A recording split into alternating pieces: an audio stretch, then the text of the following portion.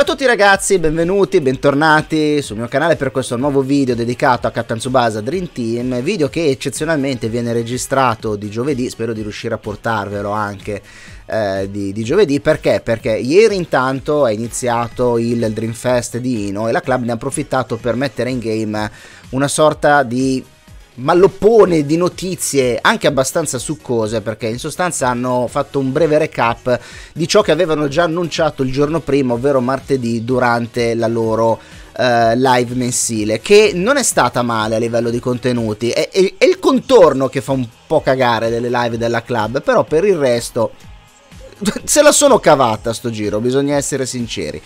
Venendo a noi, perché ho deciso di fare il video di giovedì e non di venerdì e a questo punto non crederò, non credo, non crederò, non credo proprio di farlo anche di venerdì, perché questa mattina ci hanno piazzato questa campagna derby eh, d'Italia. La club che sta molto attenta al calendario della nostra Serie A e che ha collaborazioni sia con l'Inter che con la Juve, ha deciso di lanciare questa, questa campagna eh, che riguarda appunto una sorta di banner imminente al 3 febbraio, quindi oggi è l'1 che è giovedì, il 2 è venerdì, avremo un banner che esce di sabato.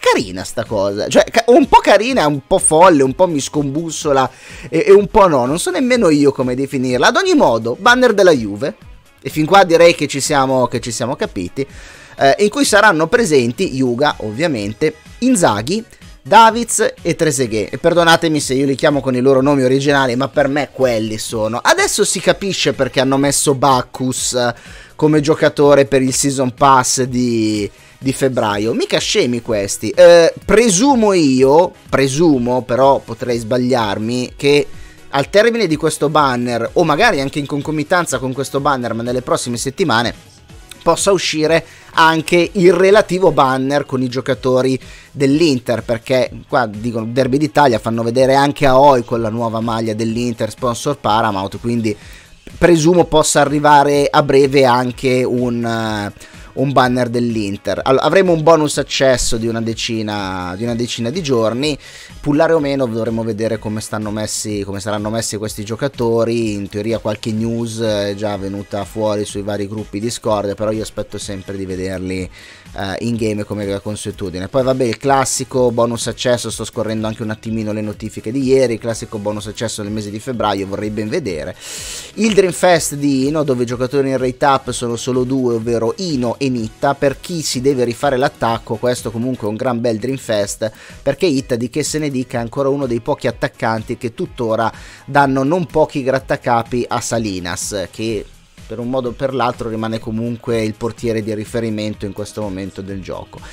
Sono arrivate anche una serie di eventi legati al Dreamfest, ormai la club per Dreamfest e Dream Collection ci butta dentro anche questi eventi che schifo non fanno assolutamente, sono i classici eventi a scalata, a punti, accumulo, chiamatelo un attimino come volete, alla fine della fiera sono sempre, eh, sono sempre quelli, ci danno delle Dream Ball perché sono 10 partite da giocare, quindi comunque 10 Dream Ball di base, più 25 Dream Ball se non ricordo male una volta raggiunti i 50.000 punti si possono utilizzare gli skip ticket, ci sono dei nuovi, eh, dei nuovi moduli, ci danno dei ticket per l'estrazione, quelle, quelle, tradizionali, insomma sono degli eventi tutto sommato carino, ci arrivano due volte al mese, per, appunto come dicevo prima per Dreamfest e Dream Collection eh, e ci portano una settantina di Dreamball.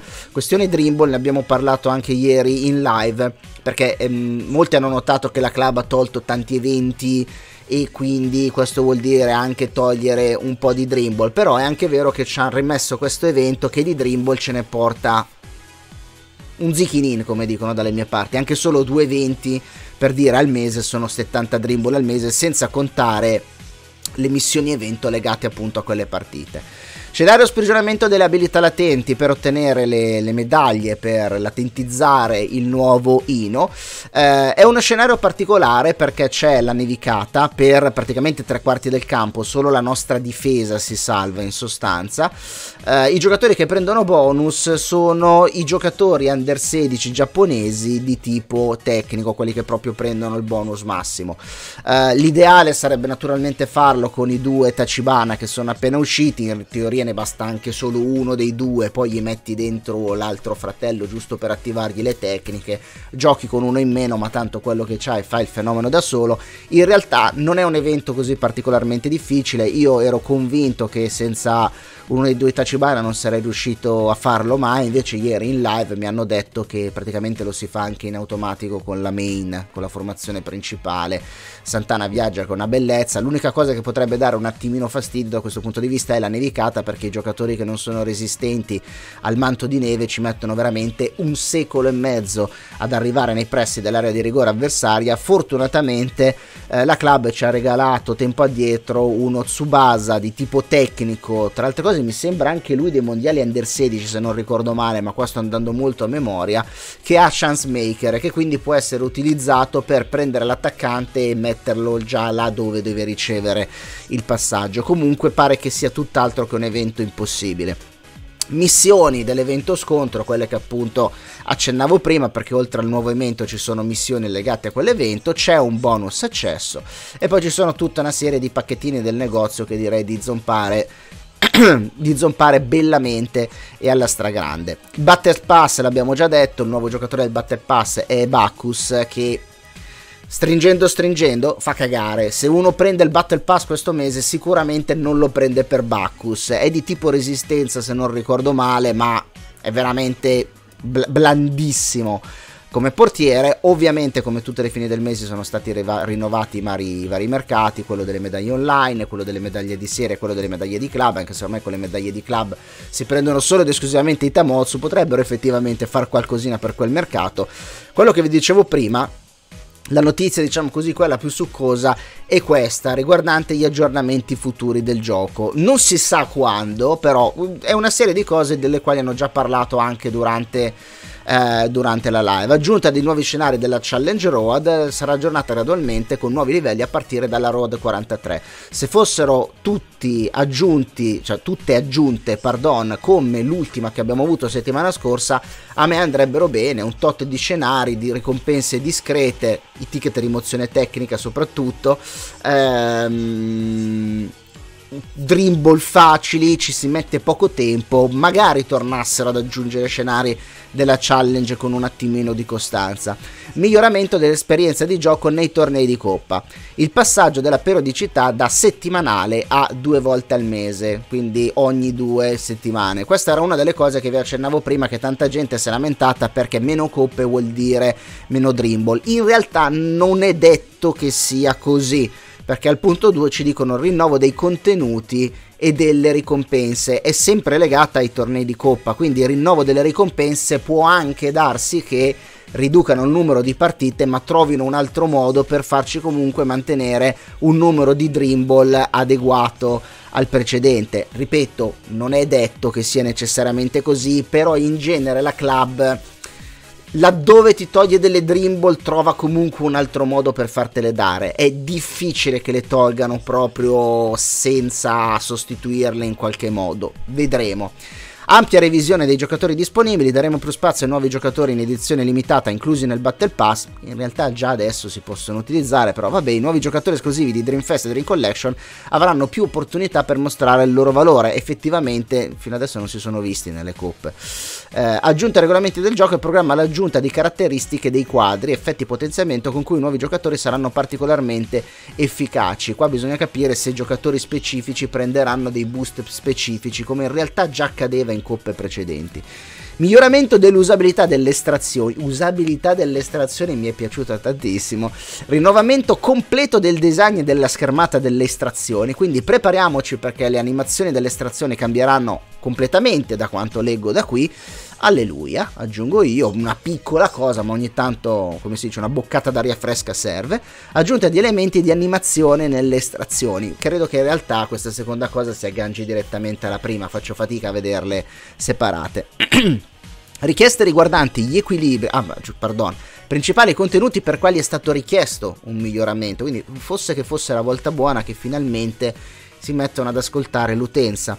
Richiesta riguardante gli, equilibri il meccanismo delle percentuali di vittoria dei contrasti, ovvero l'RNG, io l'ho detto ieri in live, l'ho detto 1857 volte, ne approfitto per dirlo per la 1858esima, io personalmente non vorrei mai che togliessero l'RNG, io ho sempre detto che io ti favo per una regolazione, una regolamentazione, forse è più corretto dire, dell'RNG perché l'RNG a me non dispiace perché dà un po' di pepe, un po' di imprevedibilità al gioco che altrimenti sarebbe tutto troppo meccanico, matematico e scontato, però deve essere, deve avere delle regole, deve essere essere limitato in qualche modo, non deve essere un RNG a senso unico. Io prego semplicemente che mettano un RG che sia più equo, colpisci te, colpisco io. Semplice, però non so perché, ma la vedo dura che sia così, eh. Vabbè, richieste riguardanti la difficoltà nell'ottenere i giocatori desiderati e altre questioni legate alle estrazioni. In realtà già qualcosa in tal senso hanno fatto, abbiamo visto dei banner dove noi siamo, cioè pardon, dove siamo noi a scegliere i giocatori in rate up, non so se intendono questo o intendono altro, però incrociamo le dita. Richieste riguardanti l'equilibrio del gioco come la forza dei giocatori e i potenziamenti, questa già l'avevano detto, avevano detto che faranno in modo eh, che i giocatori abbiano una durabilità più estesa. Uh, quindi meno power creep, soprattutto io mi auguro durante gli anniversari. Richieste di miglioramenti legate alla praticità delle varie funzioni, queste non fanno mai male, anche se non capisco che cosa intendano nello specifico. Richieste legate alla giocabilità delle partite online, magari risolvessero un po' di bug, schifo non farebbe. Richieste legate alla giocabilità degli eventi e delle ricompense, queste in realtà mi sembrano già giocabilissimi così, però va bene legate alla giocabilità della modalità in solitario, quindi credo PvE generico, e del contenuto delle missioni sfida. E mm, se dessero qualche ricompensa carina in più, ripeto, anche qua non mi lamenterei di nulla. Eh, c'è da incrociare le dita che tutte queste modifiche arrivino nel più breve tempo possibile, perché comunque di tempo sappiamo bene che eh, se, n'è perso, se n'è perso parecchio. Però personalmente se già riuscissero realmente, realmente a fare la metà delle cose che sono scritte qua, io mi riterrei straordinariamente soddisfatto. Poi il problema della club è che quando si mette d'impegno a fare determinate cose, una volta ci prende e 5 no, però vedremo.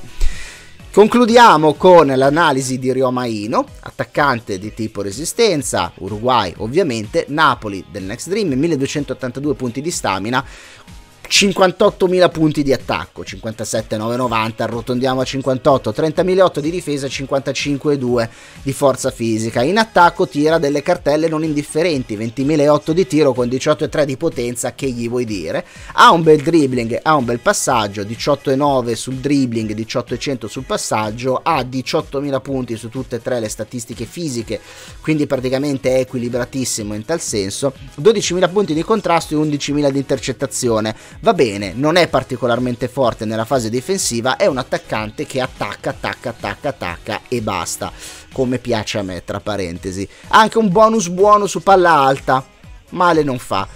Uh, abilità di squadra classico 28% a tutti i giocatori con 3 o più giocatori di ogni colore in campo. Killer di difensore e portieri come passiva, ottima. Contro difensore e portieri parametri più 20%. Lui essendo punta fissa, questa passiva l'attiverà praticamente nel 90% delle volte. Non gli si attiverà solo in quei rarissimi casi in cui finirà per affrontare un, uh, un mediano.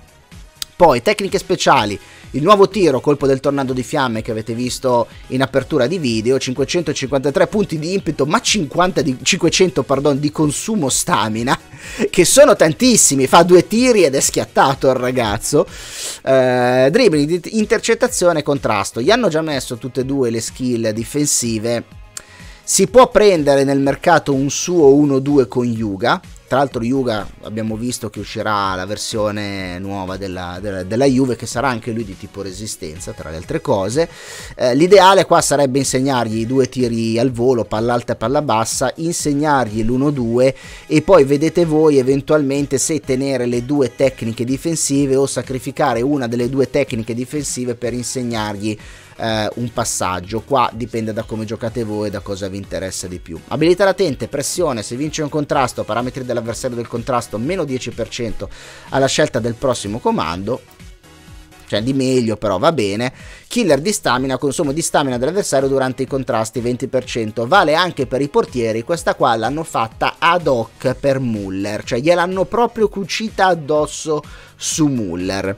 Annullamento del sigillo, annulla fino a due sigilli delle tecniche speciali che hai subito, così non avete nemmeno bisogno di insegnargli chissà che cosa. Come si comporta con gli attuali portieri del gioco? Allora, probabilmente a parità di condizioni contro Salinas gli sta ancora un attimino sotto, perché comunque c'è il vantaggio di colore, anzi in questo caso trattandosi di Lino c'è lo svantaggio eh, di colore che gli rompe un attimino gli zebedei. A tutti gli altri, sia a quelli del suo colore che a quelli di tipo tecnico, quindi quelli verdi, dovrebbe farli saltare in aria che è veramente una bellezza. Uh, forse Ken con qualche botta di RNG è maestro della parata. No, non lo so. Ken non ha maestro. Oh, ce l'aveva sì, maestro della parata. Oddio, oddio. La memoria, Barde, la memoria. Vabbè, Ken forse in qualche modo con qualche botta di sedere giochiamocela così. Può anche darsi che, eh, che, regga, che, regga, un attimino il colpo, però tutti gli altri, sinceramente, contro di lui li vedo molto, molto, molto, molto, molto, molto male, incluso l'ultimo Bacchus che sta per uscire.